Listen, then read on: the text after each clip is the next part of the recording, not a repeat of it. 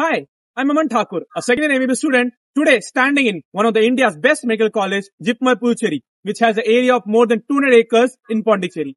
In today's video, I'll be telling you about the various non-academic as well as academic centers in JIPMER.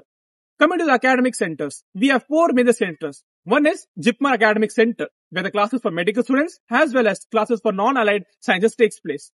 Next, we have a college for nursing, that is Nursing College, where the classes for nursing students takes place.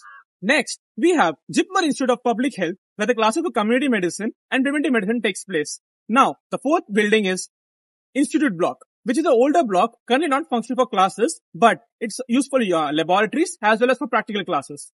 Now, coming to the non-academic centers of Jipmer, which includes major hospital blocks, the emergency blocks, super specialty blocks, and the IPDs, and amount of hostels in Jipmer.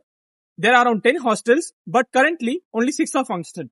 Like we have Curie House for girls, Osler House for boys, Lister House for BSc students and Aschoff House for other other allied courses. अब आप सोच रहे होगे जिपमर में बस पढ़ने की जगह है नहीं JIPMER has got lots of other activities to do like we have a swimming pool we have a gym we have a multi-sports park where we can play basketball, table tennis, badminton, and lots more sports.